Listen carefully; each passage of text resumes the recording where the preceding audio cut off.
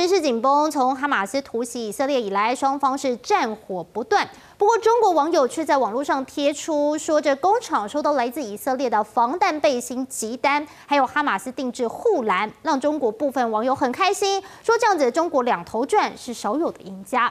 以色列国家安全局宣称，哈马斯的创办元老已经被军方逮捕，而他身边还有许多曲折离奇的故事，包含他自己多次被以色列拘捕，但是有两个儿子先后脱离了哈马斯的组织。长子呢是跟以色列国安局秘密合作，跟哈马斯组织作对；小儿子则是因为公开批评哈马斯的官员贪腐，就被哈马斯冠上叛徒的罪名。